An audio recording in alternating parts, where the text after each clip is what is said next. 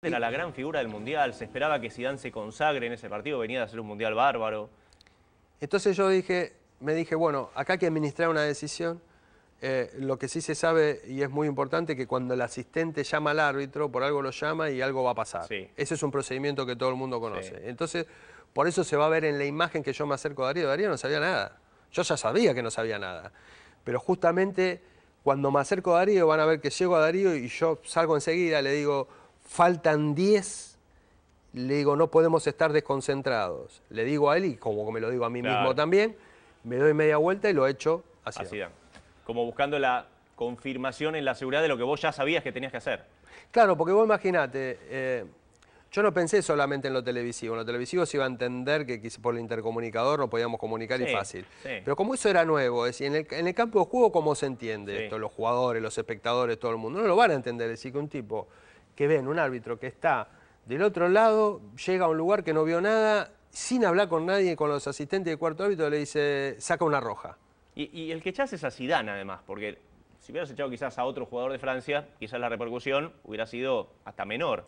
Pero echás al mejor jugador de Francia, al que apuntaba a ser el mejor jugador del Mundial, él te dice algo, agacha la cabeza y se va. No, cuando yo le muestro la roja me acuerdo que saco mi libretita para anotar y él me toca el hombro y yo medio me salté. Me dice, no, no, no, tranquilo, tranquilo. Te hablaba muy bien en español. Sí. Me dice, no, no, tranquilo, tranquilo. Me dice, ¿ustedes vieron qué pasó antes? Me dice, yo me voy, me dijo. Yo, está bien, me tengo que ir, me dijo. No me voy, me tengo que ir. Pero ustedes vieron lo que pasó antes. digo, no, perdón. Ninguno de los cuatro vio nada. Le digo, ¿qué es lo que pasó?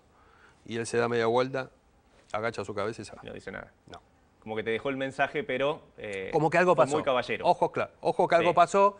Yo no voy a hacer buchón, no voy a decir qué es lo que pasó, ya se enterarán. Bueno, yo me hago cargo de lo mío, ¿Volviste este, a verlo después a Zidane en algún momento? Sí, a los dos los vi.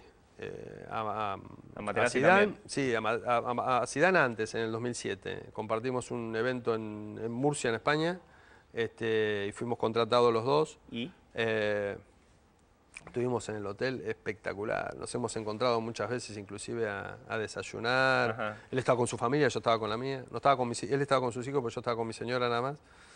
Este, y hemos hablado de lo que estábamos haciendo en ese momento, qué teníamos ganas de hacer.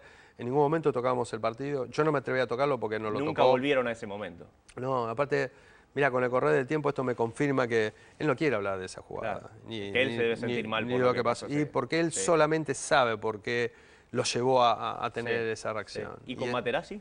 Y con Materazzi me encontré en el 2010 este, dirigiendo un partido amistoso en Panamá, los amigos de Messi contra los amigos de Ronaldinho, y lo habían invitado a, Materazzi, ¿no? estaba en el vestuario con los asistentes panameños y de repente me golpearon la puerta, bla, bla, bla, bla. Eh, entonces los asistentes vi que se estaban cambiando, yo también me estaba cambiando, entonces pregunto, ¿quién es? Materazzi, Horacio, me dice. Ah, bueno, entonces, pasa, pase, pase.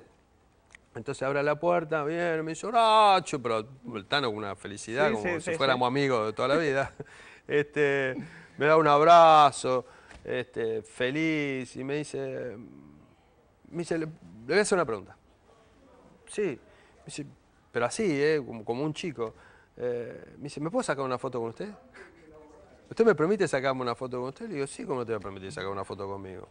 Salió corriendo se fue al vestuario, viene con la... Con la cámara. Con la cámara, cierra la puerta, entonces saca una foto, le dice al asistente, saca una foto, ta, Me dice, ¿le puedo pedir otro favor? Me dice, igual. Me dice, ¿puedo traer a mi familia también que se saque una foto? Y viene la Tana con los dos tanitos, dos varones, toda la familia ahí sacando una foto con, la familia. Muy gracioso. ¿Y nunca te dijo más nada tampoco de esa jugada? Jamás, tampoco habló de la jugada sino el hecho de, de, encontrarnos... O tenía un recuerdo bárbaro tuyo de decir, no sé, me sacaste a Zidane de encima, vaya a saber... Los dos, a ver, eh, yo, creo, que el jugador italiano... Eh, más allá de que él después termina con, el triunfo, ¿no? Que eso también es el gran recuerdo que tiene. ese gran recuerdo y en definitiva creo que, hicimos un, gran partido y, todo el mundo ve como... A ver, la, decisión de la expulsión de, de Zidane fue la más importante porque fue la más mediática.